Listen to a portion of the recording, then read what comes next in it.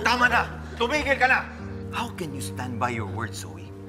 Kahit huling-huli ka na, hindi ko alam kung paano mo ako nagawang lokohin sa harapan ko.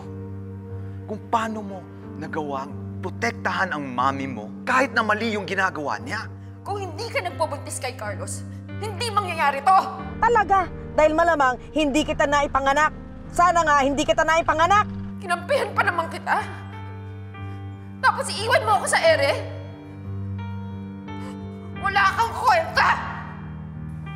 Excuse me, room for Moira Tanyag, please. Okay, wait lang po ma'am. Double check lang po namin yung room niya. Si Ninang. Naipit lang ako eh. It's either you or si Mom. Bakit mo siya pinili? Eh alam mong mali ang ginagawa ng mami mo. Ang laki ng kasalanan niya sa akin. And I don't even know why she had to pull me down the stairs. Anong kasalanan ko sa kanya para gawin niya sa akin yun? Alam mo ba? Alam mo, no, tama pala yung kutob natin dun sa mag-inang Zoe at Moira na yon. Magkasabwat! At saka, ibang klase rin, ano? Daig pa yung writer. Kung makapag-imbento ng kwento. Alam mo, nag-aalala ako, Jose eh. Kasi hanggang ngayon, wala pa rin balita kay Annalyn. Ano na kaya nangyari doon? Eh, alam mo kasi, Lynette, dapat sumama ka na kay Annalyn. Total, hindi ka rin naman makafocus dyan sa ginagawa mong kasal nyo ni Doc Carlos. Eh, ayoko naman kasing isipin ni Carlos na mas inuuna ko pa yun kesa, kesa doon sa kasal namin. Kasi bagay, no? Pero alam mo, Lynette, iniisip ko talaga, ano naman ang dahilan ni Moira para ipahamak na si Doc RJ? Pwede bang wala lang yun? Alam mo, sana talaga malaman na ni na RJ tsaka ni Annalyn yung dahilan. Nang sa ganon, maparusahan na yung Moira na yan.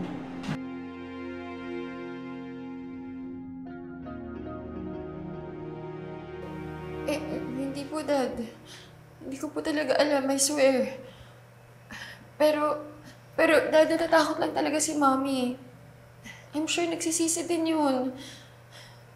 Please, Dad, sana mapatawad mo siya. Please.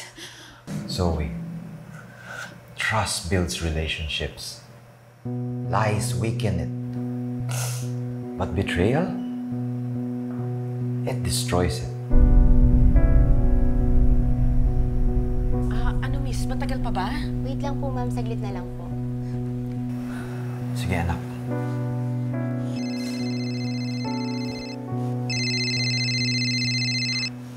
Hello, Annalyn? Na po kung nasan si Ma'am Moira. Andito po siya sa Enviva del Cala Hotel. Ah, sige. Pupunta na ako dyan. Okay po, Tay. Ingat ka po. Nakita na ni Annalyn kung nasaan ang mami mo. Sasama ako, Dad! Zoe, don't you dare warn your mother about this. Pag nakapag-check-in ng mami mo, she can stay in her room forever. Hindi na natin siya makikita. Okay? Let's go.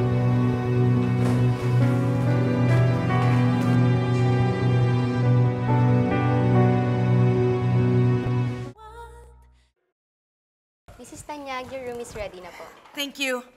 Hi, Ninang.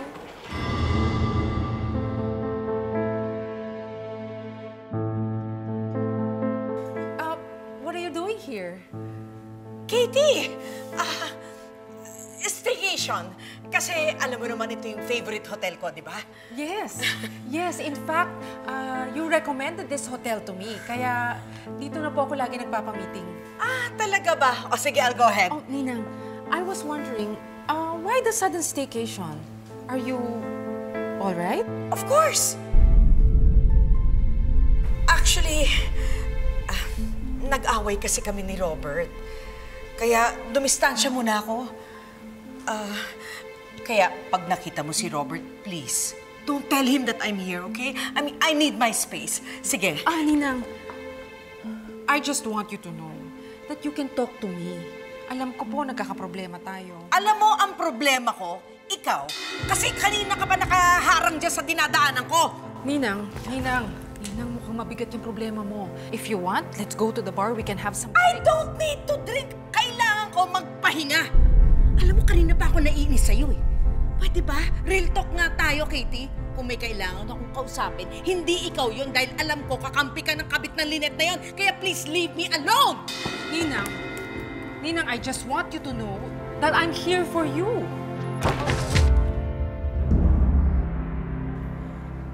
Si Annalyn ba yun? Is that Annalyn? Anong ibig sabihin nito, ha? Pinagtutulungan niyo ako? Ninang, hindi. Oh my God! Nagsumbong na kayo kay Robert? No, Ni- don't be ridiculous. Sinungaling ka! Kaya kanina ka ba pahara-hara dyan dahil sinabi mo kay Robert kung nasan ako? Iwan mo nga! Hindi ka po pwedeng umalis. Parating na si tatay at kailangan mo siyang harapin. Hindi ko siya haharapin dahil wala akong kasalanan. Alam mo, atribida ka talaga lang harassing me! Nang, huwag ka nang tumakbo, please. Things will just get worse. Kausapin mo na lang si Doc RJ. How dare you do this to me? Ah! Ah! Guard! Tulungan niyo ako! Hinaharas ako itong mga to! Hawakan niyo sila! Moira!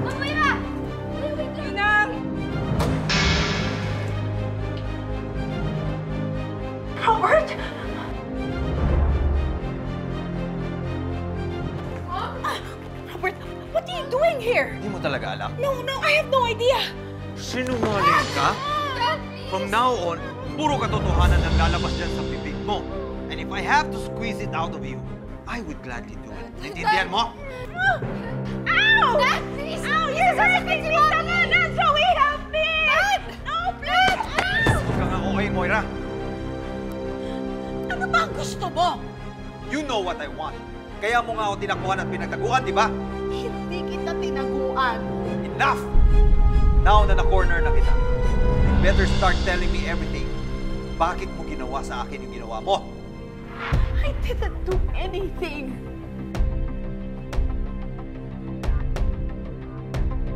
Tingnan mo yung ginawa mo.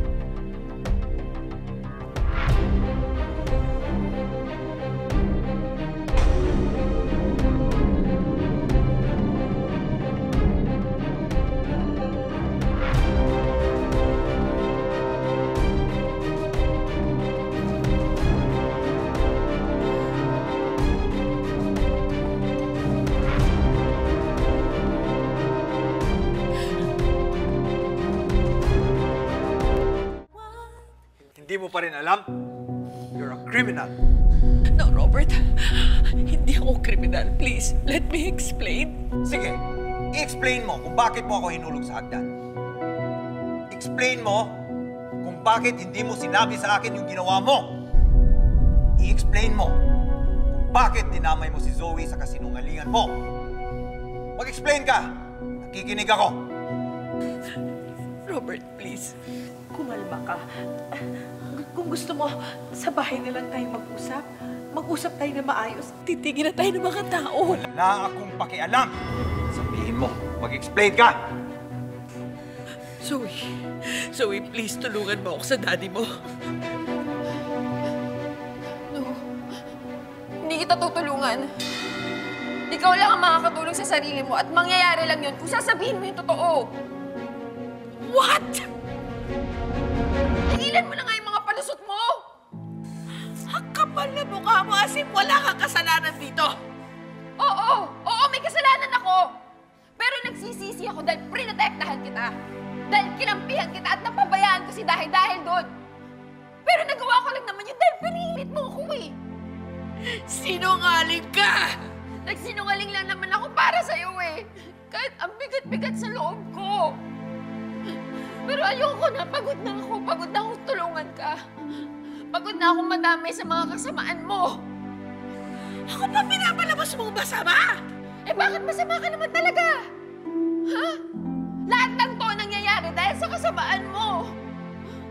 Dahil kriminal ka. Ang kapal na mukha, wala kang utang na loob! Busak ka ng anak ko. Robert, please, huwag kang maniwala kay Zoe. Hindi ko siya tinakot, hindi ko siya pinilit. Zoe!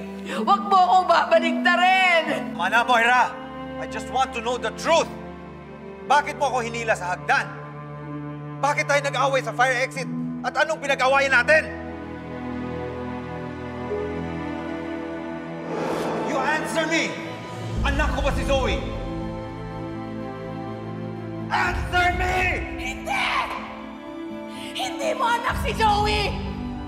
I'm so sorry, Robert. Sino ang tatay ni Zoe?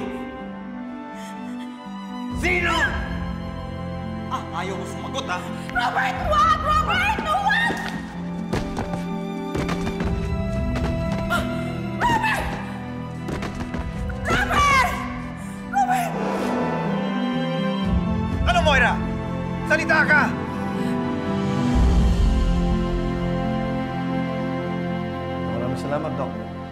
Mag-iingat kayo, Doc Carlos.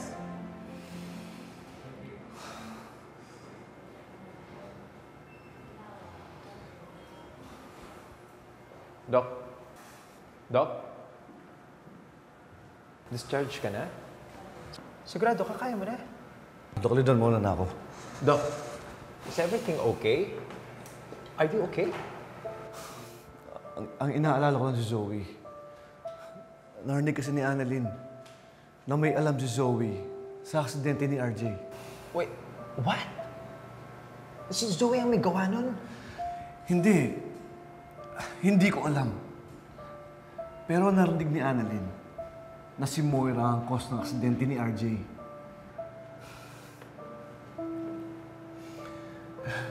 Ikaw ba, Doc Lindon? Wala ka bang alam tungkol dito?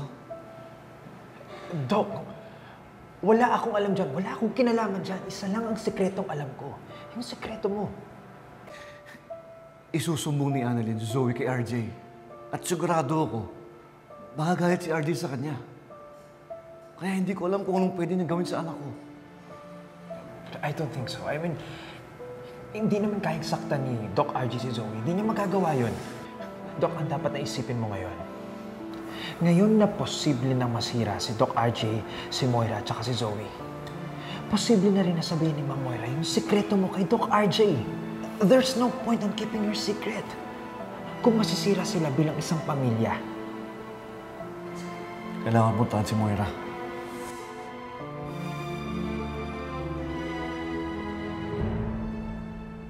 Tell me the truth! Hindi ko na maalala. Eh, naman sinasadya. It was an accident. Ayaw mo talaga magsalita? Pwes, sa presinto tayo mag-usap. No, no, no, no, no, no, Halika. no, no. Zoe! Zoe, help me! No, please! Kasama mo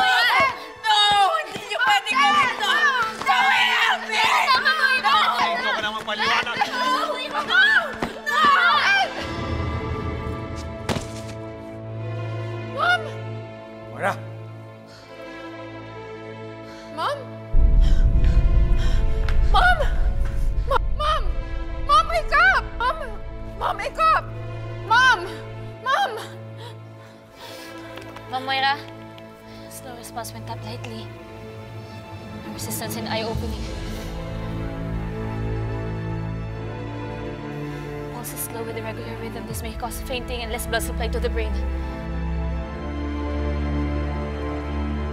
This is syncope. She's not faking it. Tay, nahimatay po talaga siya. Kailangan po siyang dalhin sa clinic. Ngayon na. Dalhin na lang natin sa Apex para mabantayan siya doon. Yes po, Doc.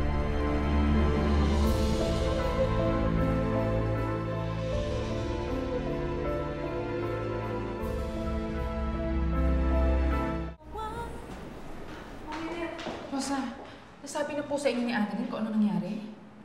Ah, hindi ba? Bakit? Ano ba nangyari? Eh, May napanood po kasing CCTV footage si Doc RJ. At base sa footage na yon, mm, si Ma'am Moira po talaga ang dahilan kung bakit siya na-aksidente. Praise God! Alam na ni Doc RJ ang lahat. Naku, galing nga lang ho ko doon eh. Nagkagulo sila. Kasi kinonfront ni Doc RJ si Ninang Moira. Ay, sayang hindi natin nakita yun, no? Ano? Nagkagulong pamilya ni RJ? Ano ginawa niya kay Moira? Kay Zoe? Zoe is okay. Pero si Ninang po hindi. Kasi mag-isa na siya ngayon. Te- Teka, teka, sandali. Eh, hindi ba magkakampi yung dalawang yun? Ay, nilaglag ni Zoe ang nanay niya. Nakakaloka. Well, according to Zoe, ah, pinilit lang siya ni Ninang Moira gawin lahat ng nagawa niya. Kaya galit na galit si Ninang. Teka muna, Doc. Eh si Annalyn, kamusta? Okay lang ba siya? Ah, si Annalyn po is okay. Um, kasama niya ngayon si Zoe tsaka si Doc RJ papunta silang Apex kasi hinimatay si Ninang Moira sa sobrang pagiging emosyonal. Delaying tactics lang yung lola mo. Doc, maraming salamat ha. Puntahan ko muna si Annalyn. Ah, Lynette, samahan na kita. Carlos, wag na. Umuwi ka na para makapagpahinga ka na. Lynette, ibang magalit si Moira. Hindi natin alam kung anong pwede niyang gawin. I need to make sure na safe kayo ni Annalyn. Maraming salamat. Ay, sasama rin ako.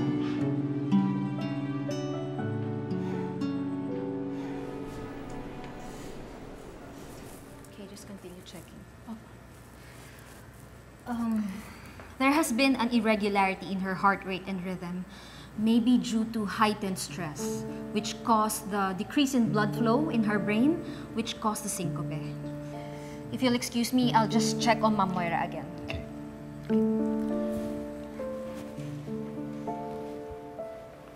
Pare, ikaw ba okay ka lang? Baka kailangan mo magpa-check up. You, you don't look well. I'm not. Pero kahit papano parang nabunutan ako ng tinik when I found out the truth. Siguro mas maging okay ako kapag nalaman ko na yung buong katotohanan. Kaya pare, please make sure na hindi makatakas si Moira. Tumawag ka na ng security para mabantayan siya. Dad, hindi ba sobra naman po yun? Sobra? Tinakbuhan ako ng mami mo, di ba? Muntik pa ako makaladkad ng kotse niya. Zoe, kilala mo ang mami mo. Gagawin niya ang lahat. So kung kailangan PSG ang magbantay sa kanya, gagawin ko para hindi niya ako maisahan ulit. Pare, calm down. I'm sorry. Naging ganito lang naman ako dahil sa mami mo. Nag-iingat lang ako. I'm sorry to interrupt, but maybe we can compromise. If you really want security, baka naman pwedeng sila Karen na magbantay. Anyway, wala naman masyadong pasyente. Ah, oo nga po, Dok. Kaya naman po namin magbantay. Opo, Dok. Kami ni Karen ang bahala kay Madam. Mag-one is to one po kami. Hindi po namin hahayaang makatakas si Ma'am Moira sa amin. Okay, sige. Zoe, I know that your mom is still hiding something from me. Gagawin niya ang lahat para hindi ko malaman.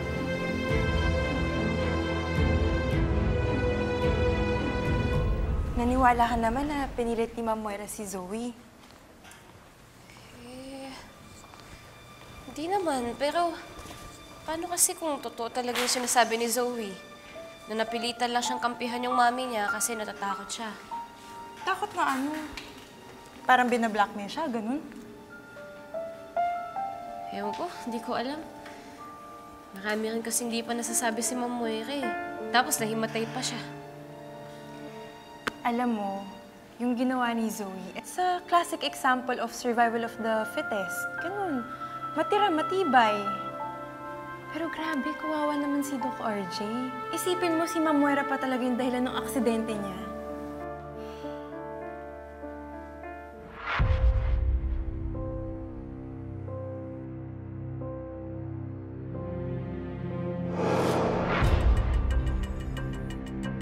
Si Moira nga ang dahilan ng aksidente ko.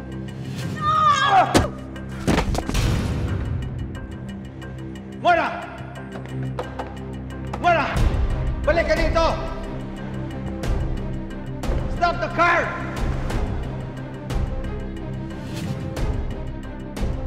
Naipit lang ako eh. It's either you or si Mom. Eh, Parehas ko kayong mahal. Pero kailangan ko pumili, Dad. Bakit mo ginawa sa akin ginawa mo? I didn't do anything. I just want to know the truth! Bakit tayo nag-away sa fire exit? At anong pinag-awayan natin?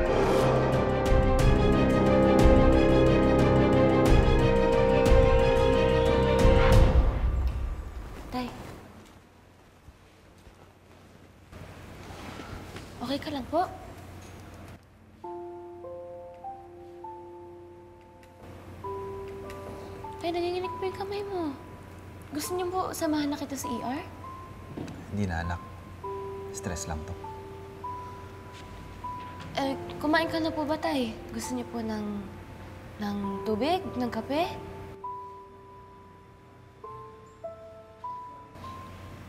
Ah, Tay, akin na po yung kamay mo.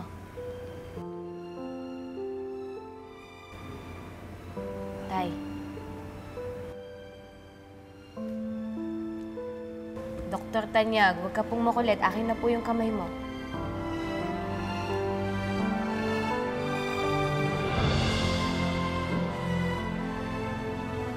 Sabayan niyo po ako, ha? Inhale.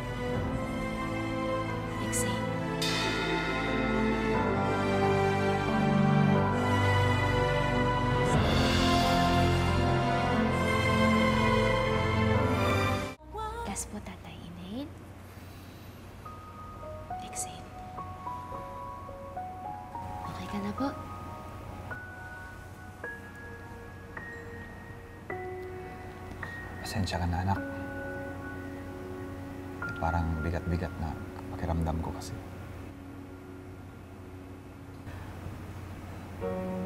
I feel like my life is falling apart.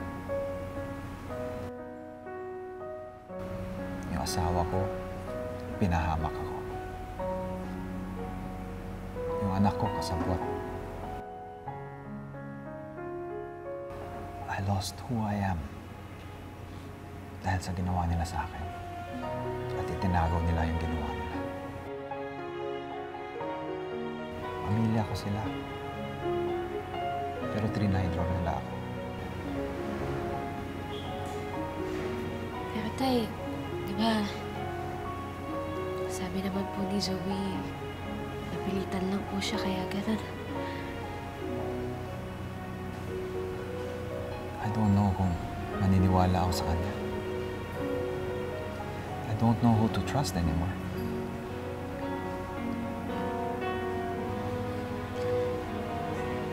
Basta tay, dito lang po ka para sa'yo ha.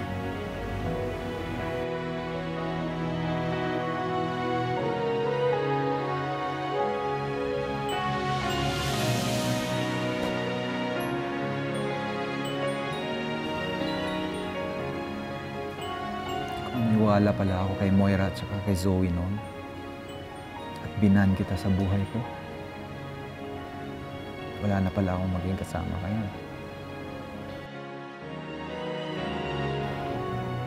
Thank you, anak, for not giving up on me.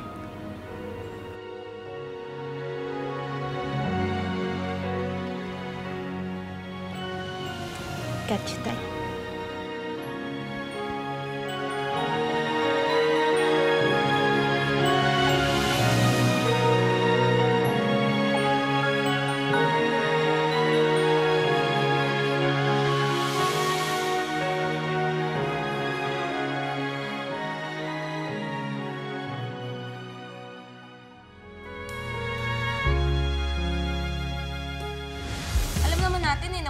Sikretong hindi nabubunyag. Tingnan mo yung mama mo. Shut up!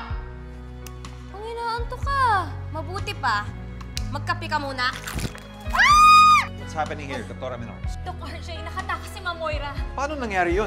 Dok, kanina po kasi nung nagising po siya, tinadyakan niya po ako eh. Tapos, Dok, ninakaw niyo po yung gunting ni Nurse Karen. So, armed and dangerous po si Opo, Madam. nanutok po siya eh. Hanapin niyo si Moira. Hindi siya pwede mag-aalis ng ospital na to.